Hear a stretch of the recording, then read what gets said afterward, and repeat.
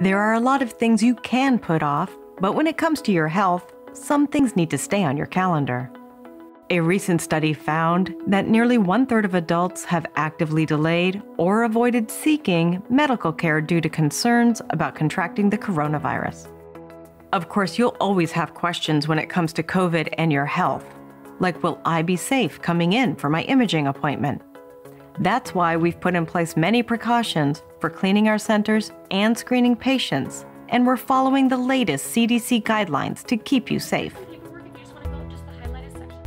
you'll see that throughout our centers, we're going the extra mile to thoroughly clean all surfaces, from our front desk and waiting areas, to the changing rooms, to the scanning and technologist areas.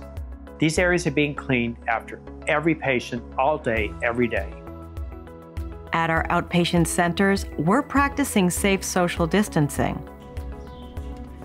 It's a challenging time for everyone. But by taking these extra steps and precautions, we can make sure you get the answers you need when you need them safely. So if you've been postponing getting your imaging done or have put off scheduling it altogether, remember your health and safety are our priority.